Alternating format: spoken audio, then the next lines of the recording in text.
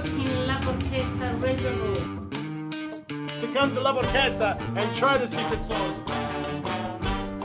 recipe and how to how to run a business. I'm gonna make a, a calabrese pasta. It's a beautiful hot dish, the best dish in town.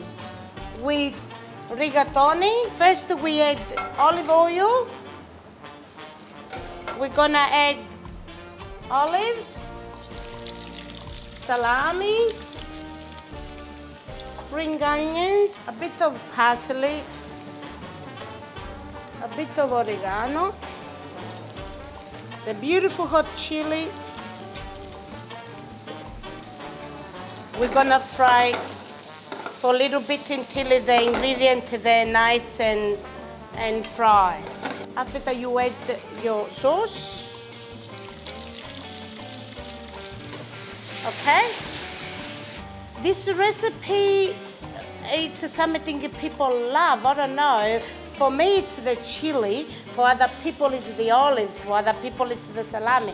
Depend on your, you know, how do you like it when you eat. Anima mia, torna casa tua, ti aspetterò, dovresti odiare queste mura. We're gonna add a little bit of cheese if you like. If people say no cheese, no cheese.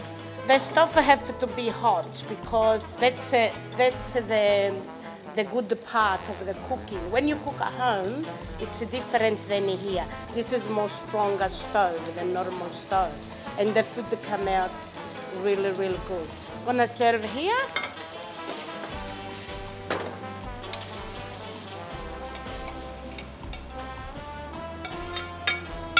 Okay, add if you they like a little bit of cheese. And voila! That's the calabrese.